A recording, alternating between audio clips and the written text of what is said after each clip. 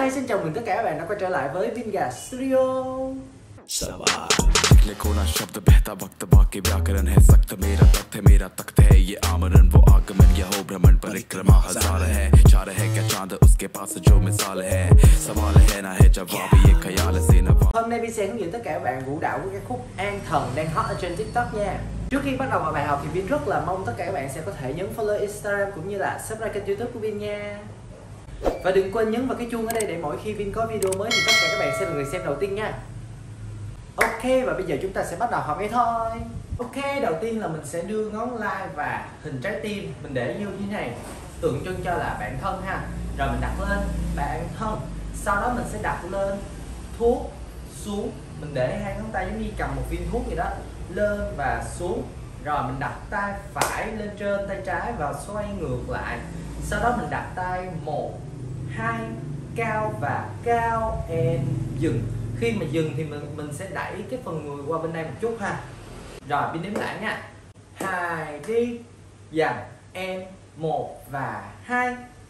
Đặt, quay qua. Trình trình chắc lên, em dừng. Sau đó mình sẽ gạt tay bên trái, tay bên phải qua hai bên. Trái, em phải. Rồi mọi người đẩy tay lên, nhún và nhún hai phần đầu gối của mình sẽ nhún tại chỗ. Và mình nghiêng người theo ha.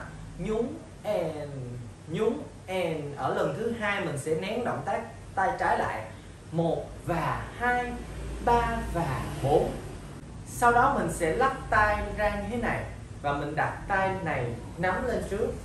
Ở đây. Và khi mà mình mở qua là mình sẽ đổi tay. Ok? Rồi, mình sẽ làm lại. Vẫy tay nè. Sau đó là nắm mở. Nắm mở. Cùng lúc đó là mình sẽ quay cái hướng mặt của mình qua hai bên ví dụ như vậy nha. Đặt tay nhún qua nhún qua. Sau đó mọi người có thể feel một đoạn tùy thích của mình ha. Ok và thế là đã xong. Bây giờ chúng ta sẽ ghép nhạc với tốc độ chậm nha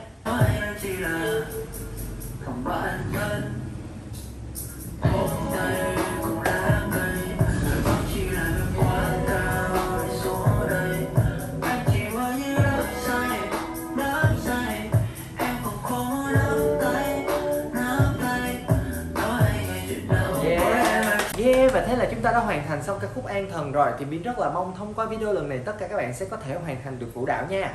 Nếu trong quá trình học mọi người có cảm thấy khó khăn hoặc là muốn Bin làm video dạy nhảy nào mới thì hãy comment ngay bên dưới để Bin có thể biết và giải đáp thắc mắc nha.